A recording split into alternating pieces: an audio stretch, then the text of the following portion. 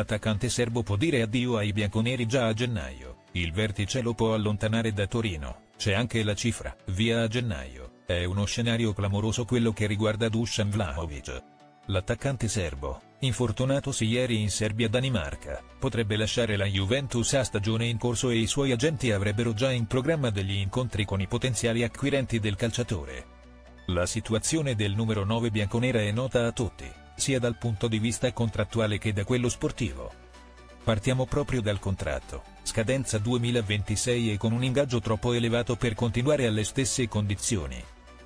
Ecco perché da tempo Giuntoli sta lavorando per rivedere l'accordo al ribasso, l'idea del football director è allungare la durata del contratto e allo stesso tempo abbassare l'ingaggio, per renderlo in linea con i nuovi parametri della società.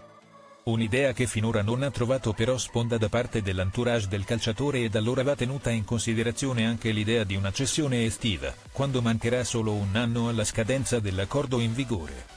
Dal punto di vista sportivo, invece, le ultime dichiarazioni di Vlahovic confermano che non si trova a proprio agio nelle idee di calcio di Thiago Motta e questa sta incidendo anche sulle sue prestazioni, con un'alternanza di gol e prestazioni deludenti. Calciomercato Juventus, incontro per l'addio di Vlahovic. In questo scenario si inserisce l'indiscrezione proveniente dall'Inghilterra dove si parla di una settimana intensa per gli agenti di Vlahovic stando a teamtalk.com Infatti, l'entourage del bomber serbo avrebbe in programma diversi incontri con i club della Premier League interessati al centravanti della Juventus.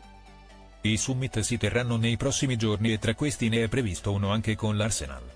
Proprio i Gunners sono indicati come i grandi favoriti nella corsa a Vlahovic e, stando sempre al portale, starebbero lavorando per acquistarlo già nel mese di gennaio.